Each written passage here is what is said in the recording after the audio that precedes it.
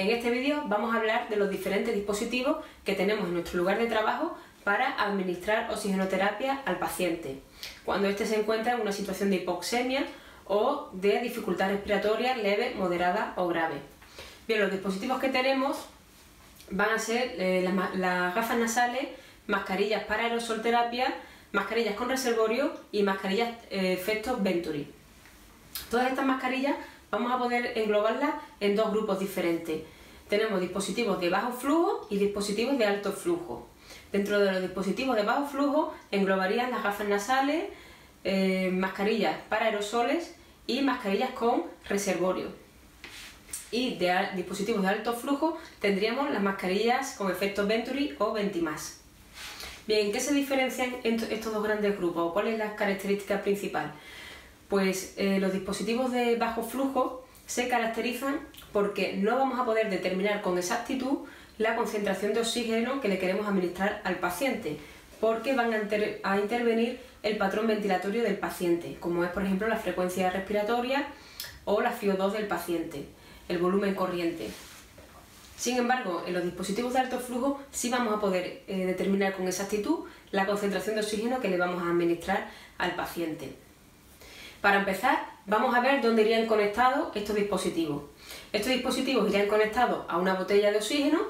En esa botella se encuentra el oxígeno almacenado en forma de gas comprimido a altas presiones y como veis a esta botella iría conectado un caudalímetro. Con ese caudalímetro vamos a poder regular el flujo o la velocidad a la que va a ser administrada este oxígeno. La medida a la que va a ser administrada el oxígeno en litros por minuto. Vamos a hablar de las gafas nasales. Las gafas nasales es un dispositivo que lo vamos a utilizar en pacientes que requieren unas concentraciones de oxígeno bajas, ¿vale? Presentan una dificultad respiratoria leve. Es un dispositivo de plástico muy flexible que eh, posee unos canutitos en la zona central donde irían alojados las fosas nasales. Aquí podéis ver ¿Cómo se colocaría al paciente? Se colocarían esos canutitos dentro de las fosas nasales y el resto sobre el pabellón auricular. Se debe suministrar entre 1 y 4 litros por, minuto, consiguiendo una FIO2 del 24 al 36% dependiendo del flujo al que lo administremos. Aquí vais a ver una tablita de la correspondencia del flujo al que lo administremos con la concentración que deseamos conseguir. Eh, ¿Ventajas de estas gafitas nasales? Pues muchas, porque el paciente va a estar consciente, va a estar colaborador, va a poder comer, no se va a sentir agobiado, ¿vale? Desventajas muy pocas, las únicas que hemos dicho anteriormente, que con exactitud no podemos eh, determinar la administración de la concentración del oxígeno a la que vaya administrada. La mascarilla para aerosolterapia. Esta mascarilla la vamos a utilizar para administrar al paciente fármacos broncodilatadores. ¿Dónde vamos a administrar estos fármacos? Pues en la parte inferior tiene una cazoleta que si la desenroscamos, justo aquí iría eh, la medicación broncodilatadora, siempre mezclada con 2-3 centímetros cúbicos de suero fisiológico. Eh, ¿A qué flujo lo pondríamos? Pues entre 6, 8 y 10 litros por minuto. Y va a tener una duración de unos 15 minutos aproximadamente. También podemos administrarlas únicamente con suero fisiológico. Conseguiremos así humidificar la vía aérea. Aquí en esta imagen vais a ver cómo se colocaría al paciente. Las mascarillas con reservorio. Eh, estas mascarillas dentro de los dispositivos de bajo flujo es la que mayor concentración de oxígeno nos va a administrar. La vamos a utilizar en pacientes que se encuentren con una dificultad respiratoria de moderada a grave y como veis eh, también está compuesta, está fabricada de plástico, abarcaría boca, nariz, como podéis ver en la colocación y con esta cinta de atrás iría eh, a la cabeza del paciente. En la parte inferior posee un reservorio de un litro aproximadamente de capacidad que debemos tener en cuenta que antes de colocárselo al paciente, esta bolsa eh, de reservorio hay que inflarla.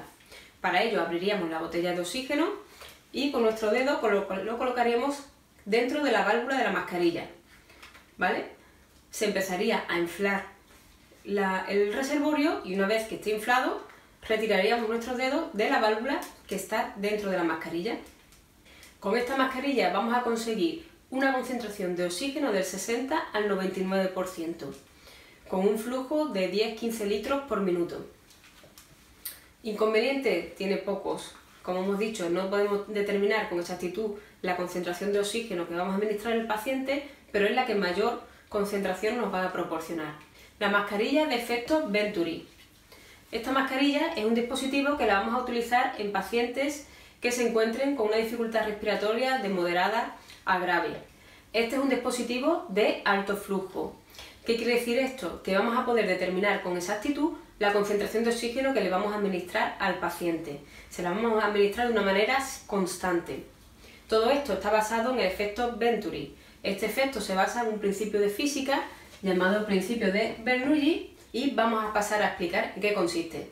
Este principio nos va a hablar de la velocidad de flujo que pasa por un tubo y que puede ser modificada cuando hay un estrechamiento. Es decir, nosotros tenemos por un tubo que pasa eh, el oxígeno a una velocidad constante.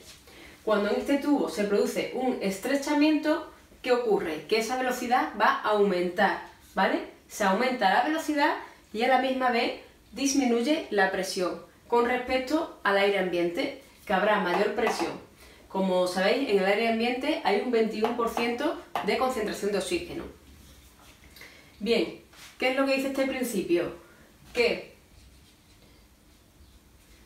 que si yo en este tubo, ¿vale? Que es continuo, realizo una apertura, ¿vale?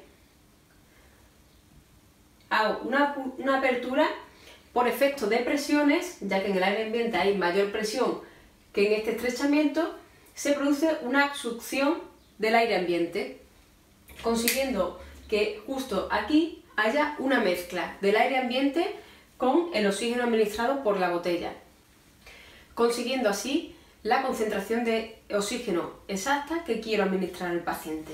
Bien, trasladándolo a la mascarilla, ¿dónde conseguimos esa mezcla de aire? Pues justo la conseguimos al final de la mascarilla, como veis, tiene unas aperturas, ahí es donde conseguimos esa mezcla de aire. Dependiendo de si abrimos más esas ventanas o las cerramos más, conseguiremos una concentración de oxígeno u otra. Aquí tenéis una tabla, os voy a mostrar una tabla donde se muestra la correspondencia de la concentración de oxígeno con el flujo en litros por minuto administrado. Para concluir, el oxígeno es considerado un fármaco, por ello es el principal tratamiento en la hipoxemia.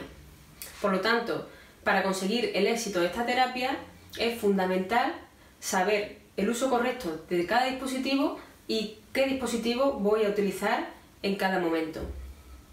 Por eso es tan importante conocer el fundamento de todos los dispositivos que tenemos y de todas las técnicas que realizamos. Bien, pues espero mucho que os haya sido de utilidad y como siempre nos vemos en el próximo vídeo.